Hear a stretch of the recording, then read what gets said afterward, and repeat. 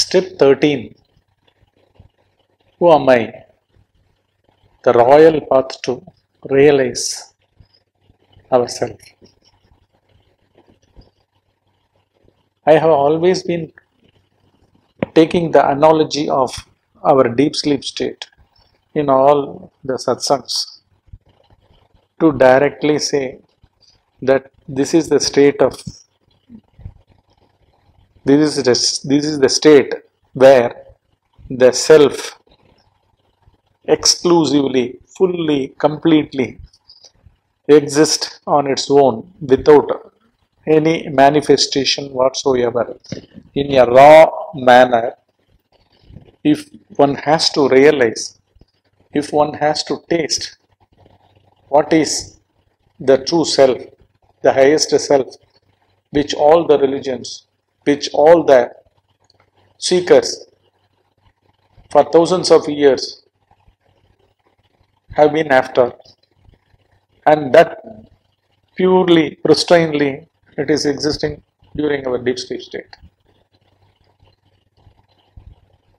And to compare the deep sleep state with an analogy here during the waking state i used to take the example of a mirror. A mirror which we use to look at our face. Do costume on your face. Makeup on your on our face. What is that uh, convey? What does it convey? Deep sleep state as well as the mirror is the same. They convey the same things. The mirror has the capacity to just in a detailed way reflect whatever that appears. As it is undistortedly. If the mirror is pure with its reflecting capacity functioning fully then it reflects fully whatever that appears whatever that is kept in front of it. So in that way our thoughts our feelings our experiences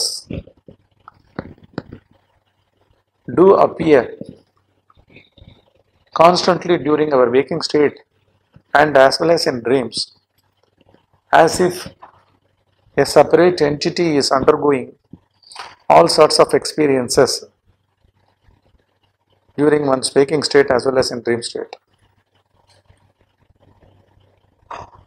Actually, our existence during waking state state is happening out of past habits repeatedly identifying with the body as an observer as a thinker as a feeler as an experiencer in dualities of feelings as well as thinking in terms of words that is thoughts attaching thoughts to each and every passing experience. And these things get repeated during our waking state. And waking state per se doesn't have a center called a human being in it. Only the past registrations that march in the presence of the mirror like that stillness silence and consciousness. That is what the mirror is and in its presence the whole of the manifestation in and through its presence in and through its presence the cosmic mind with all this appearance like mirage like appearances including human beings all sorts of experiences as well as feelings as well as thinking. Everything happen, they do march past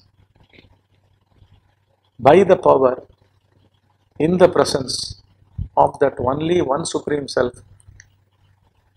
And that converts itself which these uh, these arisals whatever that happen in us during our waking state they are all stored in one mind the cosmic mind and that mind repeatedly makes one to react get up get woken up act, live, seek, undergo all the strife. These things happen in the cosmic mind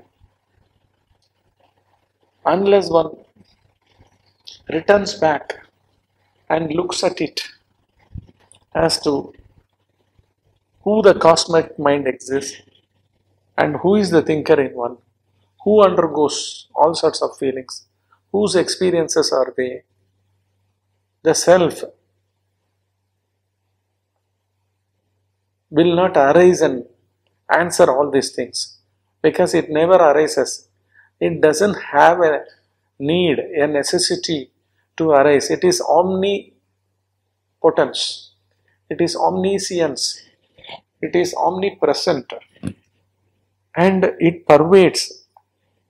It is still it fills face with the whole of the space, the infinite space exists in that. It doesn't exist in space. Space exists in that. Space arises in that. Space disappears in that. Space expands in that. So, naturally, all the powers, all the forces, even whatever the manifestation that is taking place constantly throughout the cosmos that has to take place in its presence. It exists detachedly, it exists all by itself, it exists all alone. That is the state of it.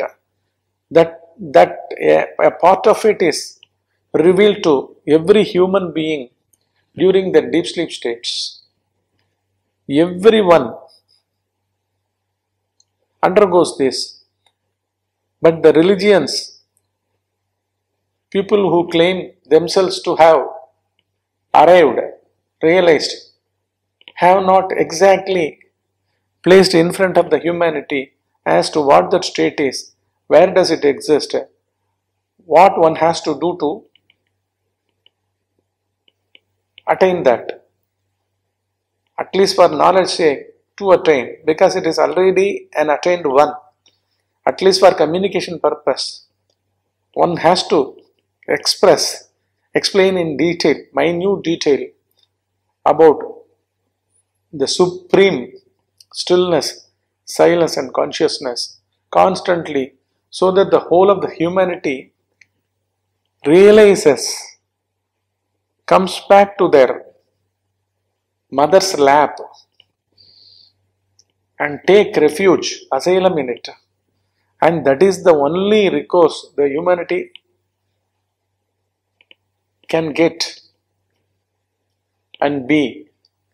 Otherwise, this ego and the waking state mind as manifestation of the cosmos with so much of dualities will throttle his uh, neck At a given moment, each one of us undergo lot of thinking, lot of thoughts, all confusions, expectations, frustrations, what to say. So unless one turns back within and looks at the origin of everything that is happening in his self itself, including himself, only he has to he has to abide in that self. What is the means of getting abundance? Simply stay silent, stay still. Where thoughts arise, where feelings arise, where an experiencer surges to get an experience. and that's the only final place abode one can take, one can abide endlessly.